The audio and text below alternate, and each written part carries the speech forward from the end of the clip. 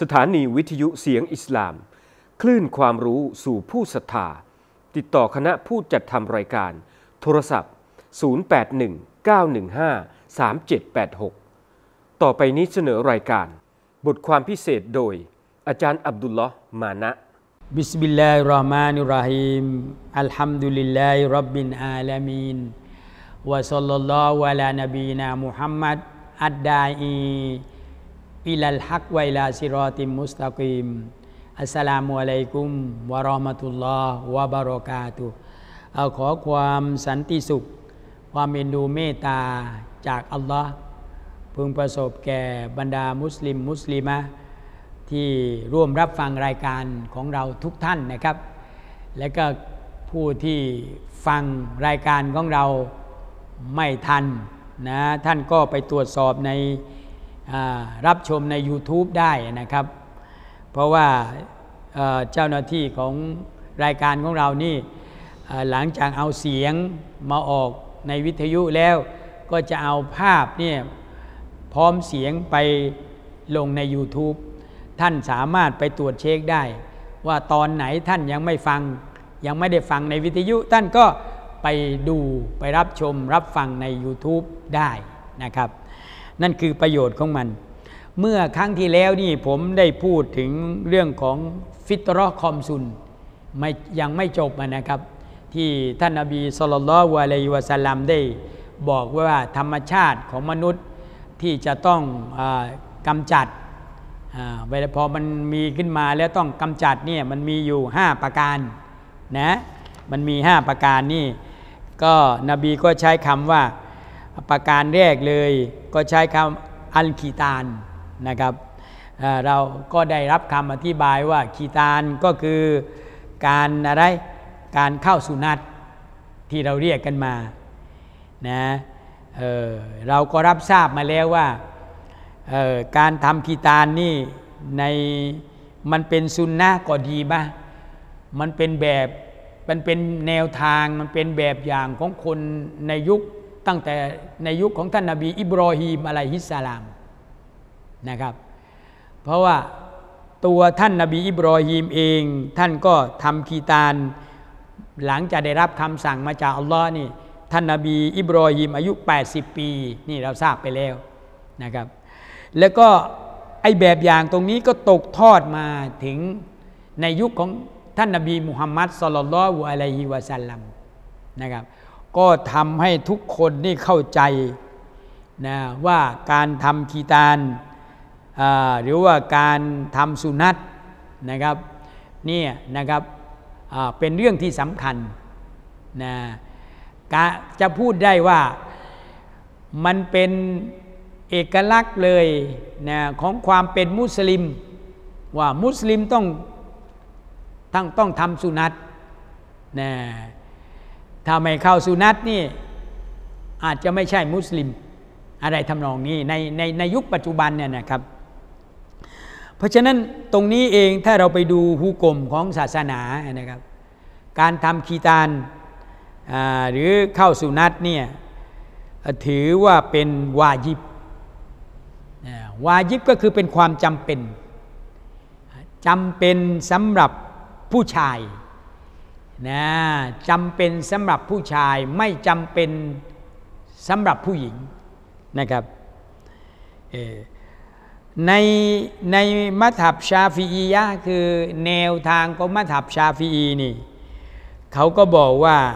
เป็นที่ชอบที่จะให้ทำคีตานตั้งแต่วันที่เจ็ดของการเกิด โอ้ยนะ ให้ทำกีตาร์นี้เข้าสุนัตเนี่ยวันที่เจ็ดของการเกิดนะนี่มัทับชาฟีอีนะแต่นั่นไม่ได้หมายความว่าจะเป็นกำหนดตายตัวนะเด้ตั้งแต่วัยแรกเกิดวัยเกิดมาเด็กผู้ชายนะเกิดมาจนกระทั่ง ก่อนบรรลุศาสนภาวะนี่เขาจะต้องทำ ก่อนบรรลุศาสนภาวะก็คือก่อนอะไรเอ่ยนะก่อน 15 ปี ตั้งเอาไว้แรกเกิดนะจนกระทั่งก่อน 15 ปีนี่ทำช่วงไหนก็ได้นะครับไม่ได้กำหนดตายตัวว่าต้องให้อายุได้ห้าขวบก่อน หรือว่าสิบขวบ หรือว่าสิบสี่สิบห้าก่อนค่อยทำ นี่นะครับ แต่มัทับชาฟีที่พูดนี่หมายถึงเขาไปบอกว่าเขาส่งเสริมเท่านั้นเองแต่แต่ก็ไม่ได้กำหนดตายตัว ที่ไม่ได้กำหนดตายตัวนี่เพราะว่านาบีไม่ได้มากำหนดตายตัวเอาไว้ว่า อายุเท่านั้นเท่านี้นะครับ แต่ว่าถือว่าตั้งแต่แรกเกิดจนกระทั่งถึง 15 ปีนี่จะต้องทำก่อน จะต้องทำนะครับ ไม่ให้เลย 15 ปีนะครับนะไม่ให้ผู้ชาย อายุเลย 15 ปีแล้วยังยังไม่ได้ทำคีดานนะครับ ทีนี้ก็เลยไปถึงฮุกกลมตรงนี้เลยไปถึงเลยไปถึงไหนครับ เลยไปถึงคนที่เป็นหมู่อัลลับจะมาเข้าอิสลาม ผู้ชายที่เป็นหมู่อัลลับที่จะมาเข้าอิสลามนี่เขาก็จะต้องหลังจากเขายอมรับแล้ว สอน หรือว่าเขากล่าวชาฮาดะเข้าอิสลามแล้ว กล่าวละอิละอิลลัลลอฮ์มุฮัมมัดุลรอซูลุลลอฮ์ยืนยันว่าอัลลอฮ์เป็นพระเจ้ามุฮัมมัดเป็นศาสนาทูตแล้วก็เข้าอิสลามแล้ว ต่อจากนั้นเขาจะต้องไปทำคีตานไปต้องไปเข้าสุนัตเห็นไหมนี่ฮุกกลมนี้ต้องเป็นอย่างนั้นนะครับ เพราะว่ามันเป็นเอกลักษณ์ของความเป็นมุสลิม มุสลิมก็คือต้องทำคีตานนะต้องเข้าสุนัตนะครับเออก็ลองดูที่เราจะบอกว่าเออคนคนที่เข้าอิสลามไม่ทำได้ยังไง แม้แต่นบีอิบรอฮีมตอกย้ำอีกครั้งหนึ่งอะนบีอิบรอฮีมเนี่ยพอได้รับคำสั่งมาเนี่ยท่านตอนตอนนั้นน่ยท่านอายุ 80 ท่านยังคนวัย 80เนี่ย วัย 80 ปีนะครับท่าน ก็นบีอิบรอฮีมก็ยังทำกีตานเลย ตามคำสั่งที่อัลลอฮ์ได้สั่งมา นี่นะครับ อันนี้ก็ชัดเจนตรงนั้นนะนี่แหละคือสิ่งที่ท่านนาบีสุลต่านละวะลัยวะสัลลัมได้ได้บอกเอาไว้ว่า ฟิตรอคอมซุน ที่เขาจะต้องมาเออจะต้องมาปฏิบัตินะ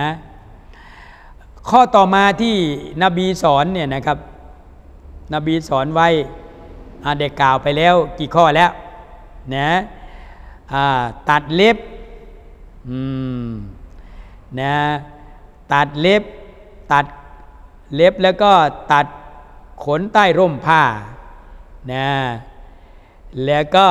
ทำคีตานอ้าวต่อมาที่นบีสอนก็คืออ ตัดหนวด เอตัดหนวด ตัดหนวดนี่นบีใช้คำว่าก็ซุนก็ตุชาริบ แปลว่าตัดหนวด ไม่ได้แปลว่าโกนหนวดนะ แปลว่าตัดหนวดเนี่ยอาจจะเป็นว่าให้ตัดแต่งหนวดที่ขึ้นเนี่ยนะใต้จมูกเนี่ยหนวดใต้จมูกเนี่ยให้เราโกนก็ได้ หรือว่าตัดแต่งก็ได้ นะครับอันนี้เป็นสุนนะก็ท่านนบีสุลต่านละวะลัยวะสัลลัมไม่ให้ปล่อยยาวนะปล่อยยาวนี่มันก็เป็นบางคนบอกว่าแม้เอาไว้เนี่ยนะมันทำให้หน้าเกงขาม ใครไปไหนมองเห็นโอ้นี่มีหนวดหน้าเกงขาม เอนะครับเอาต้องเอาไว้เอาไว้หนวด บางคน ไม่เคยตัดเลย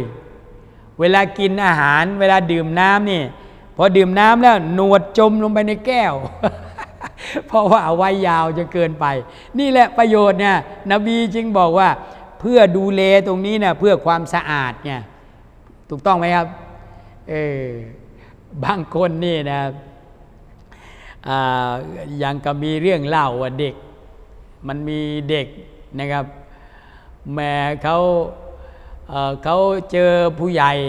ที่เอาไว้หนวดยาว แล้วก็มากินน้ำตะกอนนี่ก็ตักน้ำใส่ขันกัน แล้วก็ดื่มน้ำในขัน แล้วก็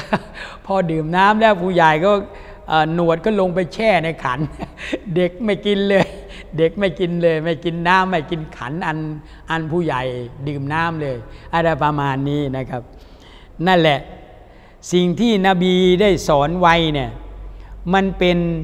แบบอย่างที่ดีงามทั้งหมดเลยนะด้วยเหตุนี้สามสี่ข้อมานี่เพื่อความสะอาดทั้งนั้นนะเอาเดี๋ยวอีกข้อหนึ่งอิสติอาดาดนะอืมนะอิสติอาดาดพูดไปแล้ว อิสตินยาอ้าวมาดูอีกข้อที่นบีสอน อิสตินยานี่เอออิสตินยาคือการอะไรคือการ อะไรนะ การชำระชำระสิ่งสกปรกนะครับชำระสิ่งสกปรกนี่เราทราบมาแล้วว่า ถ้าตอนจะอาบน้ำละหมาดนี่ถือว่าเป็นวายิบเลย อิสตินยะเนี่ยนะครับต้องชำระสิ่งสกปรกชำระตรงไหนครับชำระสิ่งสกปรกคือชำระปัสสาวะอุจจาระนะครับ คนที่ปัสสาวะอุจจาระนี่ต้องชำระให้สะอาดก่อน สะอาดหมดจดก่อนแล้วก็คอยมาอาบน้ำละหมาดเข้าใจไหมแล้วก็ถือว่าการชำระตรงนี้นะครับ ศาสนาถือว่าเป็นวายิบนะนะเป็นวายิบเลยนะไม่ใช่เป็นสุนนะแล้วเป็นวายิบอพอรับทราบแล้วก็ เราก็ทราบอย่าให้ให้ให้ปฏิบัติอย่างนั้น หลังปัสสาวะหลังอุจจาระนะจะต้องอิสตินยะให้ต้องกำจัดความโสกโปกตรงนี้ให้หมดสิ้นไปนะครับแล้วก็มีสิ่งที่จะชำระให้สะอาดเนี่ยศาสนากำหนดไว้กี่ตัวด้วยกัน กี่อย่างด้วยกันหนึ่ง ด้วยน้ำอันนี้แน่นอนแหละอันนี้แน่นอนว่าประการแรกเลยที่อัฟดอนที่สุดเลยนะในการอิซาละร่องรอยของนายาซะด้วยกับน้ำนะกำจัดร่องรอยของความโสกปรกจากการปัสสาวะอุจจาระด้วยกับน้ำอันนี้ถือว่าเป็นสิ่งที่อัฟดอนสิ่งที่ดีที่สุด รองลงมากำจัดด้วยด้วยด้วยหินที่สะอาด ด้วยก้อนหิน ก้อนหินที่สะอาดนะครับ หมายความว่าในกรณีที่กรณีที่คนคนนั้นเนี่ยไม่มีน้ำไปอุจจาระนะหรือปัสสาวะแล้วมันหาน้ำชำระไม่ได้ ตัวอย่างเช่นไปเชิงเขาไปต่างจังหวัดแล้วไป ปัสสาวะเชิงเขาอะไรต่ออะไรเนี่ยนะครับเออมันไม่สามารถที่จะหาน้ำมามาชำระได้ ก็อนุอนุญาตเขาให้ใช้หินที่สะอาดได้นะหินที่สะอาดก็ได้ใบไม้ก็ได้นะครับเออพอเราพูดถึงตรงนี้นะครับในปัจจุบันเนี่ย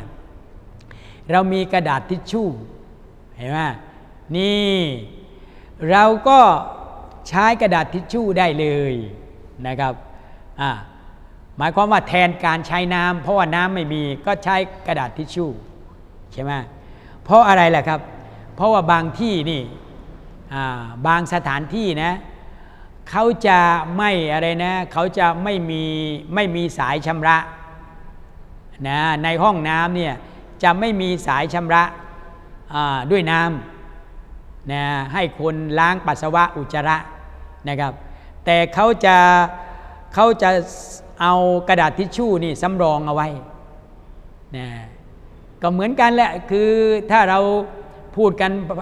ตรงๆเลยก็คือพอเราเข้าไปในศูนย์การค้าเนี่ยนะครับไปซื้อของซื้ออะไร เราต้องเข้าห้องน้ำเพื่อปัสสาวะอุจจาระนะมันไม่มีสายชำระด้วยน้ำนะครับเขาก็เตรียมกระดาษทิชชู่ไว้ให้ เราก็ชำระด้วยกระดาษทิชชู่ได้นะการการชำระด้วยกระดาษทิชชู่นี่เป็นการชำระชั่วคราว ถือว่าสะอาดชั่วคราวหรือว่าถือว่าสะอาดเลยคำตอบคือ ถือว่าสะอาดเลยครับ ถือว่าสะอาดเลยนะก็หมายความว่าในกรณีที่ไม่มีน้ำนี่ชำระด้วยกระดาษทิชชู่แล้วก็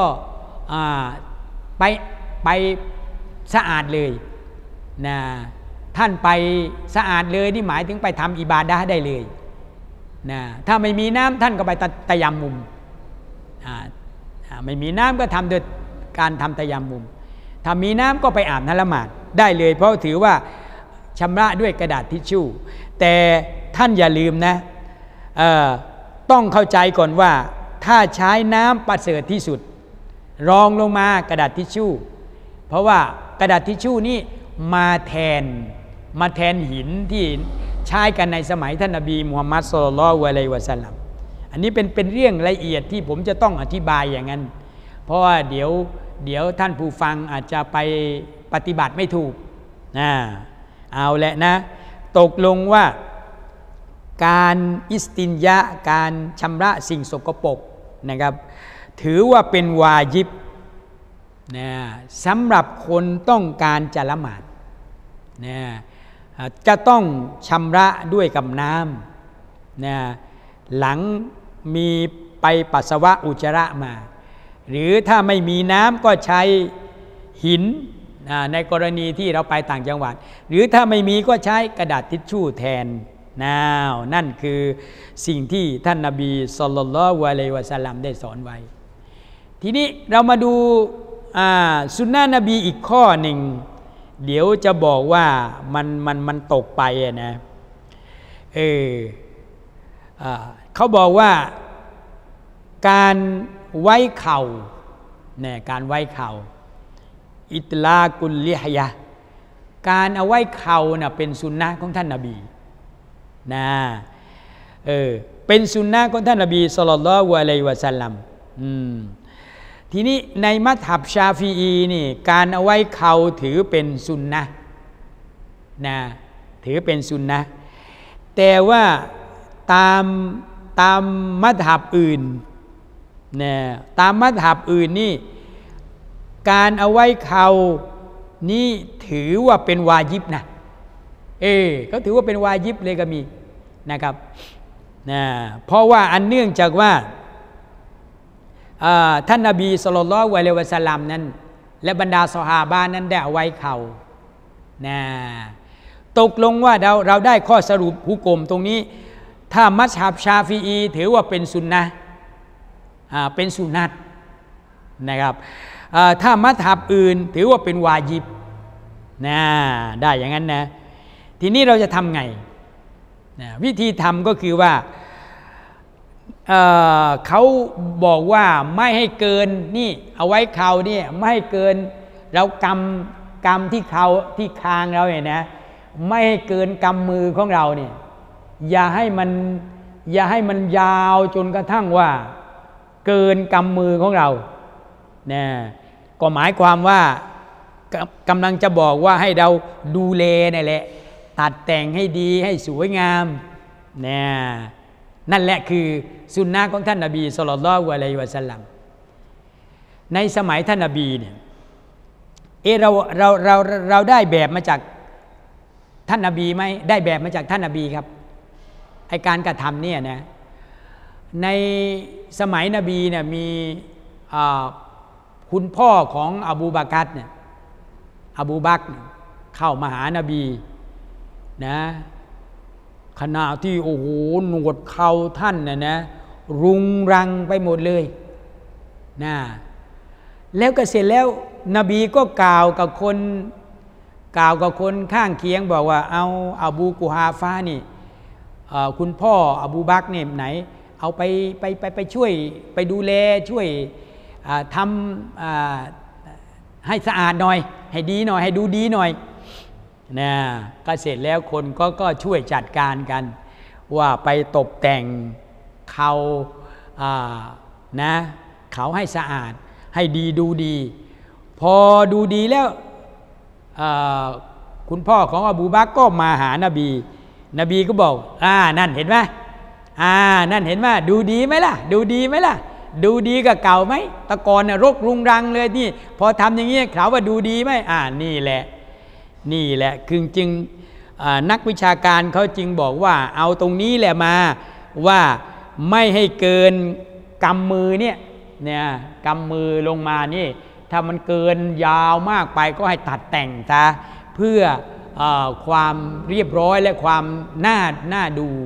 เหมือนกับสุนนะของท่านนบีสุลต่านวะเลวะสลัมที่ท่านส่งเสริมเอาไว้ ก็หวังว่าท่านนี้คงจะได้รับสาระตรงนี้นะแต่ส่วนใครที่ยังไม่ได้เอาไว้เขาก็ถือว่าไม่ได้บุญนะไม่ได้สุนัตนะไม่ได้สุนนะนะครับส่วนคนที่เอาไว้เขาก็ได้สุนนะได้สุนนะนี่ถือว่าได้บุญด้วยนะครับนะนั่นเป็นอย่างนั้นสำหรับวันนี้เวลาหมดครับพบกันใหม่ในโอกาสหน้าبالله التوفيق والهداية والسلام عليكم ورحمة الله وبركاته ที่จบไปแล้วเป็นอาจารย์ อับดุลลอฮ์มานะ ผลิตรายการโดย สถานีวิทยุเสียงอิสลาม คลื่นความรู้สู่ผู้ศรัทธา สื่อบริการสาธารณะ สื่อที่ไม่มีโฆษณา ร่วมสนับสนุนการทำงานศาสนาได้ที่ ธนาคารกสิกรไทย เลขที่บัญชี 009 8493 999 ชื่อบัญชี วิทยุเสียงอิสลาม